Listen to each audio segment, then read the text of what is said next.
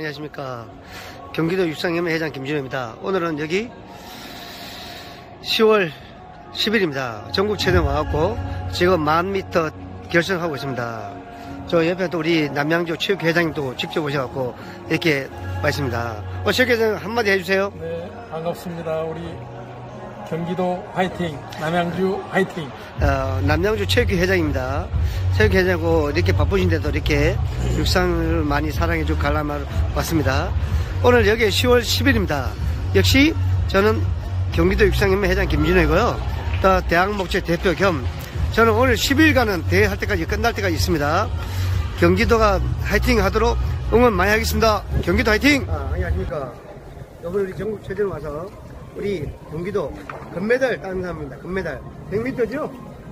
100. 5,000m. 아니, 여기 100m. 대학교 이제 안산시청 온 선수. 아, 그렇구나. 우리 여기는 안산 네, 감, 안산시청 감. 감남내고 아직까지 나이가 있는데 저 100m 기록자입니다. 아직 못 깼습니다. 맞죠? 네. 안산에서 오늘 금메달 현재 이틀째 이제 두개 나왔습니다. 네, 두개 땄고요. 예. 우리 앞으로 자주 봐요. 예. 자주 봐요. 예. 감사합니다.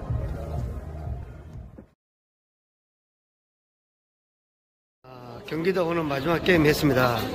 마지막 오늘 금 3개 땄습니다. 원래 금만 5개 생각했는데 5개 땄습니다. 여자 800. 여자 800에서 금메달 경기도가 땄습니다. 우리 오늘 시상은 남양주 체육회 회장님이 시상식 합니다. 오늘 마지막, 마지막 게임에서 동메달을, 아니, 그죠, 금메달 땄습니다. 아, 우리 축하합니다. 어디 소속이에요? 파주시청. 감독님, 빨리 파주시청 감독해줘야지. 어, 여자, 감독님도 멋있고, 선수도 멋있고, 다 멋있네요. 감사합니다. 오늘 마지막 800m 1등 했습니다. 우리 어디 시청이죠? 파주시청입니다. 우리 파주시청 감독님은 들어간 지 얼마 안 된 것 같은데요? 네, 열심히 하겠습니다. 오늘 근데 800 1등해서 오늘 기분 어때요? 너무 좋습니다. 800 정부체에서 처음을 1등 했죠? 네네. 축하합니다. 우리가 아마 좋은 선수가 많이 나올 겁니다. 열심히 많이 해주세요. 우리 선수도 축하합니다. 코치님 축하하고요. 화이팅 하면서요. 경기도 화이팅!